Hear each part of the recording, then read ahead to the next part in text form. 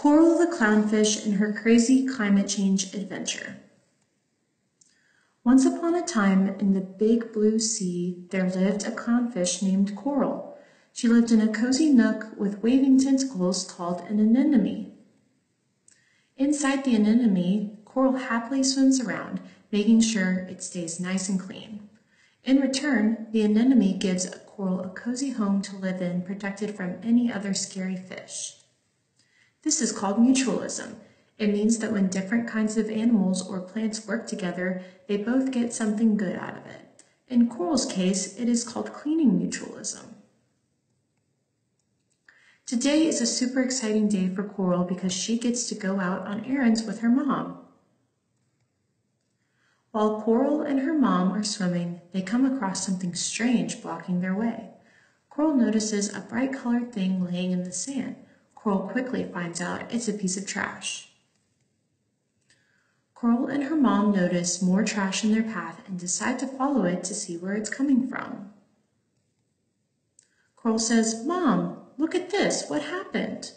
All of a sudden, what seemed to be a scary, sly shark appeared. Coral yells and says, Ah, don't eat me. The sad shark says, I can't even think about food right now, with a sad look on his face. Coral is confused and asks, Why are you so sad? He said, I accidentally ate a piece of plastic.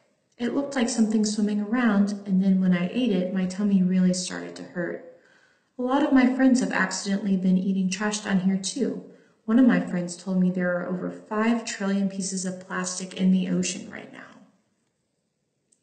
Coral is very confused, says goodbye to the sad shark, and tells him that she hopes he feels better. Coral can't understand how so much trash is in their home and asks her mom. Coral's mom says there are many reasons why it can be so messy. Sometimes people throw away their trash incorrectly and it can end up in the wrong place or places that are located right next to the sea will dump their trash into the ocean and that no one will get in trouble for it. Coral is sad to hear this, but her mom cheers her up because there are ways to help. Coral's mom tells her not to be scared because there are ways to help. She tells Coral that if humans can use less plastic, throw away trash correctly, and spread the word about how badly polluted the ocean is, maybe humans will change their mind about how to treat others' homes. Pollution is one of the main causes of climate change in today's world. Some of the main causes of pollution include what Coral learned today, in addition to boating, landfills, and negligence. It's important to reduce, reuse, recycle, and avoid plastics. Climate change is also due to the burning of fossil fuels, deforestation, agriculture, waste management, and land use changes.